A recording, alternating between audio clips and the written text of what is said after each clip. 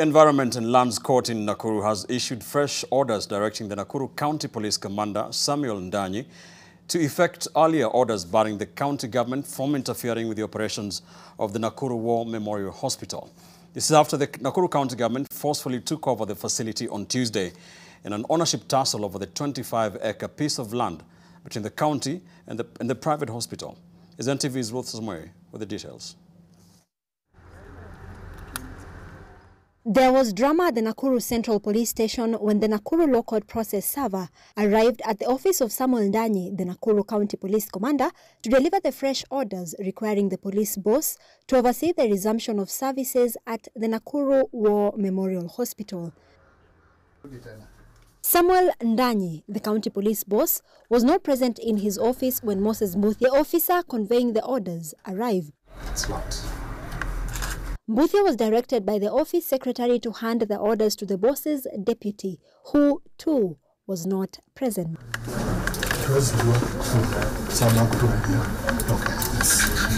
In what seemed like a back and forth game, the court officer was passed from one office to another. He was asked to see the Nakuru East Sub-County Commander to hand over the order, but just like his bosses, he too was not available.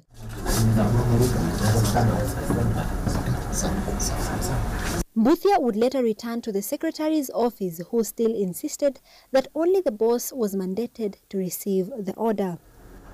So, madam, if uh, she doesn't pick the phone, I'll have to leave the order with you. Because, uh, you know, this is an office. During the mention of the case on Thursday morning, Justice Millicent Odeny directed Ndanyi to see that hospital staff would be allowed to resume their duties without interference by the county. If the county commander does not implement the order, he should appear in court to explain the difficulties uh, and why he has not complied with the court order. Yes, they have failed and uh, I have come here, you have seen, I've gone twice. It's not possible to get him, he's not reachable on phone. Uh, in the meanwhile, I'll send the court order electronically, but tomorrow morning, once again, I'll be here to try and effect the court order. The fresh orders over the ongoing tussle between the Nakuru County government and the Nakuru War Memorial Hospital management follows prior directives issued on Tuesday requiring the police boss to effect the handover by the county to the hospital management.